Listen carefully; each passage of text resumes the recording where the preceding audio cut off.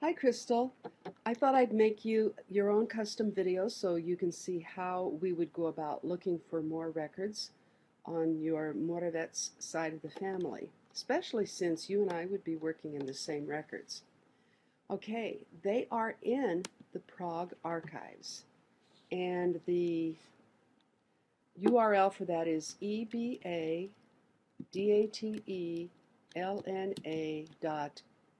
D-A-T-E L-N-A S-O-A-P-R-A-H-A dot C-Z.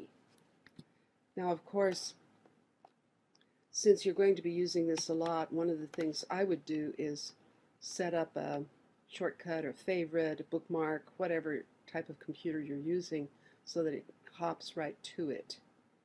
Now, here's how you would go about finding the records. Well, first of all, you can say English. It seems to remember what you did and comes up that way before. Search. The first thing we will do is the type of search. It's going to be by provenance type. In other words, a parish book, Roman Catholic. And the district you're going to be looking at is Zleby. If you hit the letter Z, you get down there I had one computer where I could hit the up arrow and it would wrap around the back. This one doesn't, neither does my PC. I have no idea which one of them it was. Maybe the tablet. Anyhow, if you just hurry on all the way down to the bottom and then go up four, you get Zleby.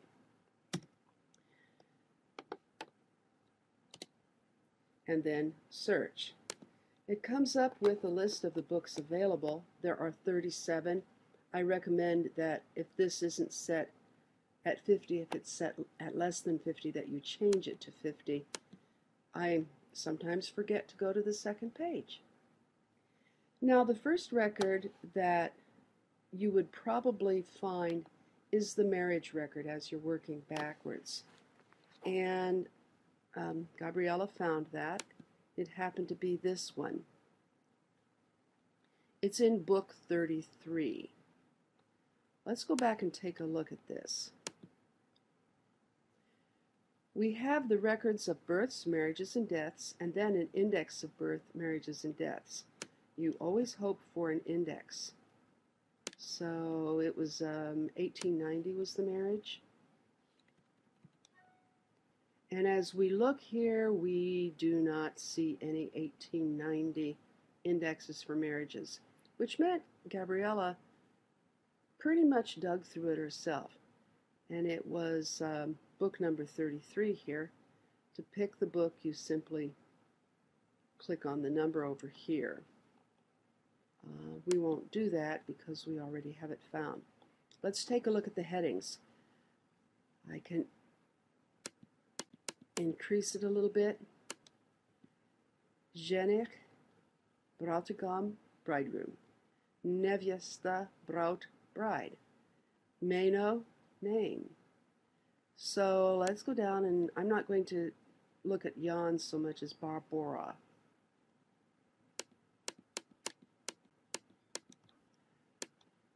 The bride is Barbara Moravec, Catholic. Manjelka, Manjelska means legitimate. Dtsera, daughter. Josefa, a means of Joseph, of Joseph.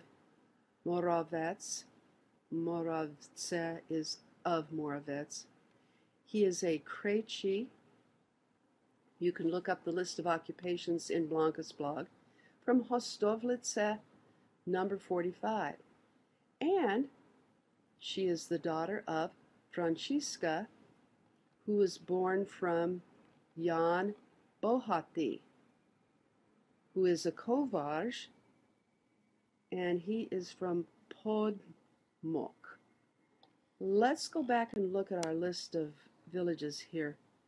And we do not see Podmok on this list, so it's in a different um, organization. It's not in Zleby, let's put it this way. It may or may not be in this district. I suspect it would be, but without researching, I won't know.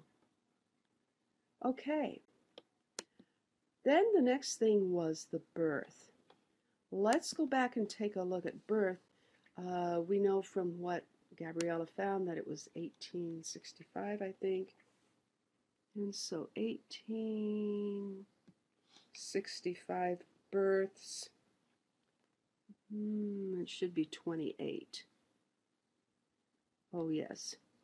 So, yes, that would be the index.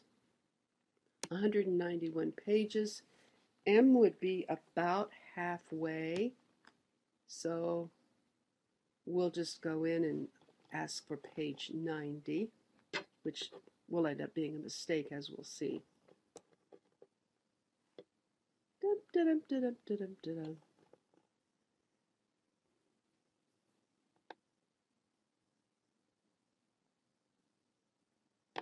While we're waiting, well, it came back. When I enlarge this, I see that I'm in, well, I used to be in the S's.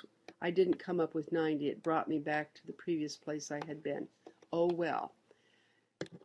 90 would have brought me to the S's, and then I would have looked up here and realized that I had two indexes in one book, births and deaths, that I needed to adjust.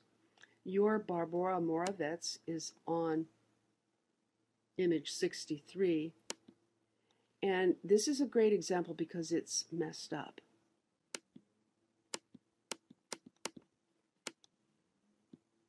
There it is, Moravec, Barbara, Dutsera, daughter of Joseph, born the second of Prosenets, Prosinets, I believe. Yes, that's December 1869 in Hostovlice, number 45. And now here's, if you find something in an index, here's how you get back to the book. It is in book D, page, is that a 51 or an 81? Well, go find another D in the vicinity here. There was one. D. Here's an 80, it's an 81 to clarify it. And sure enough, well, Hostovlice, uh, there it is.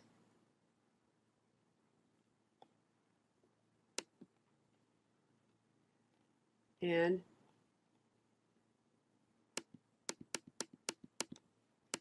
there's the page, oops, 82.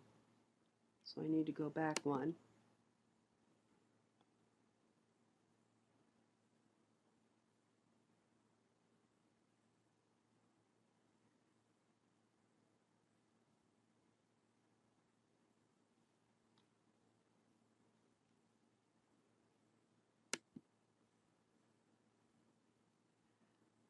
So it said it was book D, and these would have labels on their front pages. In fact, if we just go up a little bit, we'll see some other ones, 1839. So it's A, B, C, D, except it's probably A, B, C, and then D is this one.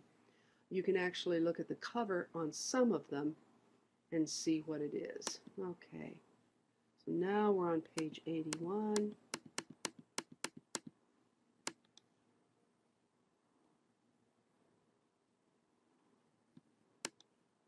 And here's our Barbara, different handwriting. Her father is Joseph Moravec, a Catholic.